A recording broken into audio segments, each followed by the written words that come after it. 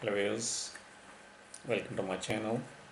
The topic is wasp sting or the bee stings or wasp sting and other insect allergies you know. Uh, but before starting this topic I would like to request you to like, subscribe and share these videos. You know the wasp sting uh, is a very common condition you know which happens in case where the insects sting you know.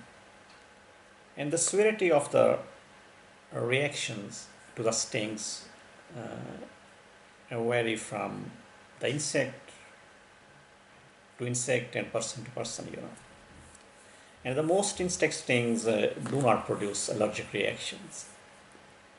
And uh, anaphylactic reactions are the most serious reactions uh, that can be fatal you know.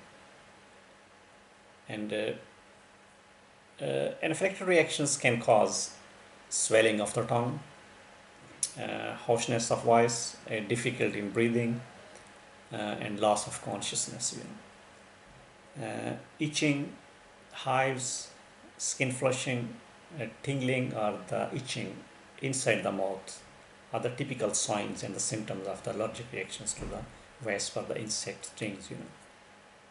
And uh, uh, the avoidance and the prompt treatment are essential and very important, you know. And uh, uh, uh the allergists are the specialist doctors who deal with the diagnosis and the treatment of these uh, kind of the allergies, you know. And epinephrine is the treatment of choice for the anaphylactic reactions. So epinephrine is uh, available in a portable and uh, self-injectable form, you know. So uh, the people who uh, uh, are prone to these kind of allergies, uh, they are always advised to carry these injections with them, you know.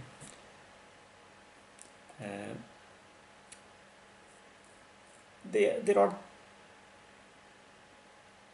three A's uh, that uh, the patients should keep in mind and the three A's are that uh, uh adrenaline, avoidance and allergist. So what does that mean is if you are susceptible to the allergic reactions like anaphylactic reactions by the bee stings, you should always carry the epinephrine injections with you and the best thing is that you avoid to going those places where there is a chance of uh, getting the bee stings or the wasp stings you know. And uh, if something goes wrong use the epinephrine injection and then straight away uh, uh contact the allergist which are the specialist doctors who treat with the, these kind of allergies. So 3a's is very important for the uh, people who are susceptible of who are more prone to the, these kind of allergies. Thank you very much for watching this video. If you need more information about any disease, any medical condition, you can visit our website www.diseasesandtreatment.com or alternatively you can click the link in the description area. And if you have any question about any disease, any medical condition, please leave the comments in the comment box and I will try to answer those questions. Thank you. Bye.